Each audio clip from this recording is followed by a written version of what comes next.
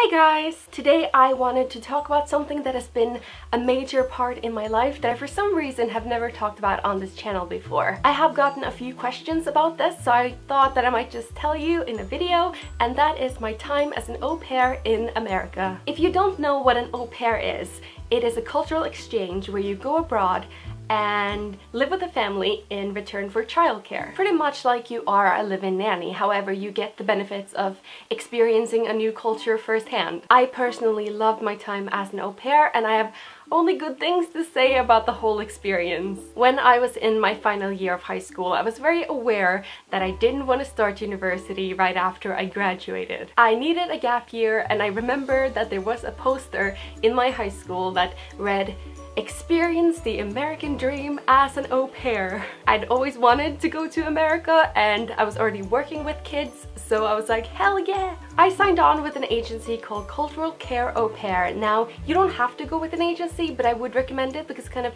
provides a safety net you wouldn't have otherwise especially if you are a young person going far away from home. Going with an agency, they just make sure that you get all the preparation and training that you need before you go as well. Now the application process for finding a family can be very long or very fast. It's very individual. The matching process is mutual, so both the au pair and the family has to say yes to each other. It's not like you just get placed with a random family. I think it is so important to make sure, like 100% sure, that you have the right family for you before you say yes. I mean, this is not a normal job interview. You sign on for not only working for them but living with them. And if you still have doubts after writing and Skyping with a family, please don't go with that family. They're probably not the right one for you. You should sign off from the Skype conversations with butterflies in your stomach. You should be excited and you should have a good feeling. After I'd handed in my application, I got one match straight away. Um,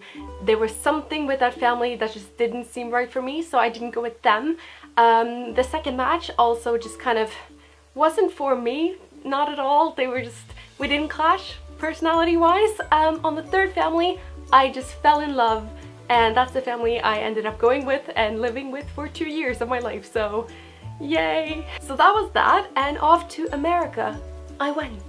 First week in America was really weird but really fun. Through cultural care you have to go to au pair training school. Basically boot camp for nannies, so cool. Cultural Care's training school is in Long Island and no matter where in the US you have been placed, you have to go by training school for a week beforehand and get trained to be the best au pair you can be. During the training school week, you get placed in a class with au pairs that are going to be in the same state as you. I know a lot of the states are really big, but generally, like, au pairs are around big cities, so you will find people that are going to be in your general area so it's a good way of making friends and you also have classes about everything from American culture to childcare. I remember one day we had a three-hour lecture teaching us to never shake a baby. I think all au pairs can unite in the fact that we know Never shake a baby. After the training school week, you get all put on planes and buses and shuffled out. And my family was living in New Jersey, so I got put on a bus and I remember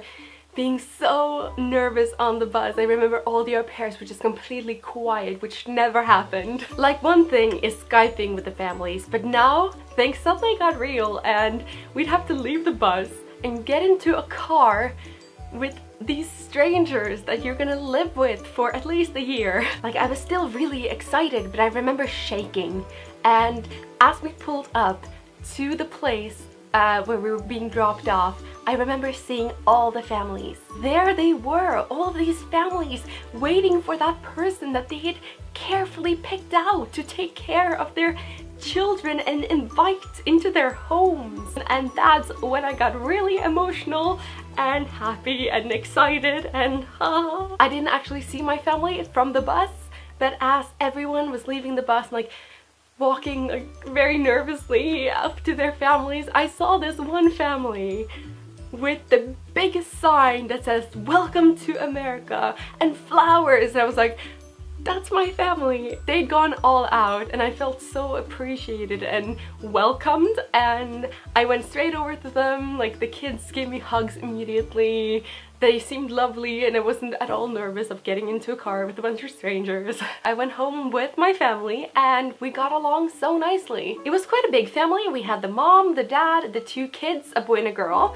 Uh, we also had the grandparents living um, in the house and two dogs and two cats, so full house. My hours would generally be 7 till 9 in the morning when I would take the kids, um, wake them up and bring them to school and then I would be off from 9 till 3 um, or 3.30ish where I would pick up the kids and take them to whatever sort of after school activities they had. The au pair job itself is really weird and it's definitely not for everyone. First of all, because you live at work. Normal jobs, you can just go home and unwind, but here you have to be on 24 7 all year. Second of all, because you live with your bosses. I feel like one of the main issues you might face as an au pair is not getting along with the host's parents. If that is because you believe the way they are raising their children is not the way you would raise yours, or they might not treat you as part of the family as much or you might just not get along with them that much. It is so important to try to create a good relationship with the parents as well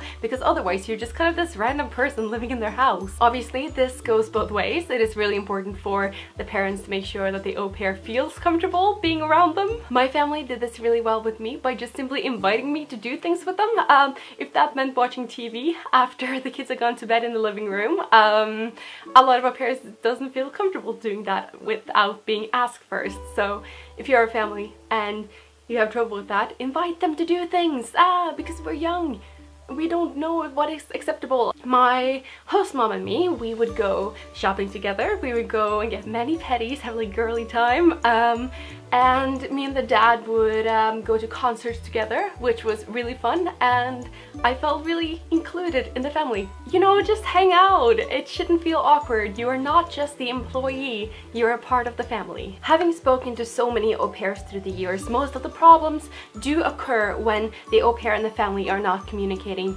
good enough. Do make sure that you communicate properly, especially in the beginning when the au pair is still really insecure about what is okay to do or not. Like you might want the au pair to sort of um, join you when she is technically off hours, but she will sit in her room being like, oh, I feel too awkward going downstairs, like, you know what I mean? So make sure you talk to each other. in this job, you obviously have to love working with children to enjoy it. You're not just going to the US to, you know, experience the US and to party, whatever. You you're working and you're working with children and the people that you will spend most time with are kids. You have to have a playful yet patient personality and you have to find the balance between friend and parent, which can sometimes be tricky. The most giving things about this job is the kids. I think that everyone who has ever had kids or worked with kids will agree that sometimes they might be a pain in the ass, sometimes they might drive you to the point where you want to go and sit in a corner and cry, but when they hug you and tell you they love you, it's all worth it. Now I stayed with my family for two years, which is the longest you can stay on like an au pair working visa. That's a long time. And I always look back on that time with a big smile on my face, like, mm. I am incredibly grateful to them for making me a part of their family, and um, yeah, I miss them a lot. Right, so I think I'm gonna end the video here. If you have any sort of questions about being an au pair, please comment below and I will do my best in answering them. Otherwise, remember to like and subscribe if you want more videos and I will see you again soon. Bye!